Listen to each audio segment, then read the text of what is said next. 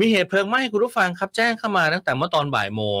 ศูนย์กำจัดขยะมูลฝอยและสิ่งปฏิกูลแบบครบวงจรนะฮะบ้านเขาดินที่หนองบอนอำเภอเมืองสระแก้วครับคือยังไม่สามารถควบคุมเพลิงได้ ตั้งแต่บ่ายโมงแล้วนะครับ เมื่อเวลาประมาณ 13นาฬิกาวันนี้นะครับเจ้าหน้าที่ระดมรถดับเพลิงทั้งเทศบาลเมืองสระแก้ว เทศบาลเมืองสระแก้วตำบลเอ่อวัฒนานคร รถดับเพลิงอบต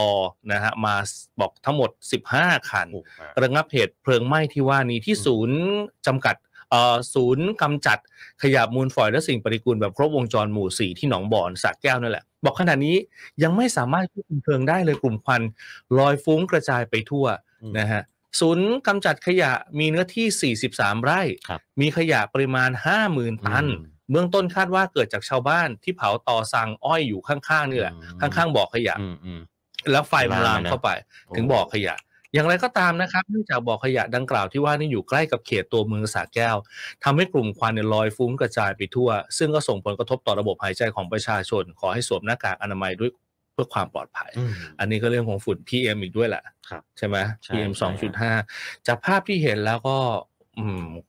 ควันก็ลอยฟุ้งสูงทีเดียว